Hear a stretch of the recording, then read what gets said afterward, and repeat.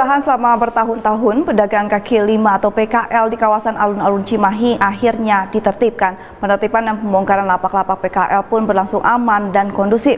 Kini para pedagang yang lapaknya dibongkar pun telah direlokasi ke Pasar Atas Baru Kota Cimahi. Deretan lapak PKL yang biasanya membadati trotoar ruas Jalan Ria, Jalan Pabrik Aci, Jalan Julaiha Karmita, serta alun-alun Cimahi kini sudah dibongkar. Pemilik lapak yang telah puluhan tahun berjualan di kawasan jantung kota Cimahi tersebut secara sukarela membongkar dan membereskan lapak mereka dengan dibantu petugas. Sebagian pedagang terlihat masih melucuti sisa-sisa bangunan lapak untuk dimanfaatkan kembali. Bilah kayu dan plastik terpal terlihat menumpuk di pinggir jalan. Kasatpol PP Kota Cimahi Totong Solehudin menuturkan upaya merelokasi PKL di kawasan alun-alun Cimahi karena kawasan tersebut merupakan zona merah berdagang. Mereka yang direlokasi adalah para pemilik lapak dagangan yang menetap atau permanen. Setelah bersih dari PKL, kawasan alun-alun Cimahi pun akan difungsikan kembali sebagai area publik. Sesuai dengan perintah yang diberikan kepada kami bahwa bagaimana uh, para PKL yang ada di alun-alun itu bisa bisa direlokasi.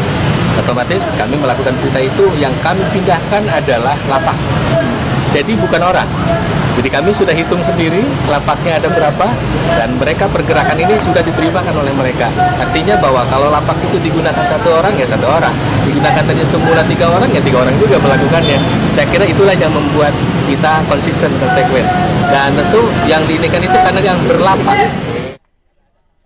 Sementara Kapolres Cimahi AKBP M. Yoris Maulana Yusuf Marzuki yang memantau langsung ke lokasi meminta para pedagang kaki lima di kota Cimahi tidak lagi berjualan di kawasan yang sudah ditetapkan menjadi zona merah tersebut. Dirinya pun mengapresiasi langkah pemerintah kota Cimahi yang telah melakukan penertiban PKL tanpa adanya gesekan.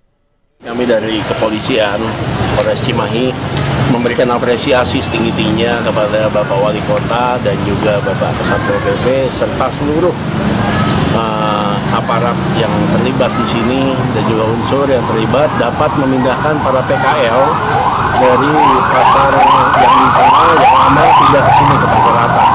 Tentunya ini merupakan satu prestasi yang sangat baik. Pemindahan para PKL tanpa adanya penggusuran, tanpa adanya kekerasan, mereka dapat pindah dengan kesadaran dan juga bahkan mereka membersihkan sendiri tempat-tempatnya. Algi Muhammad Gifari, Bandung TV.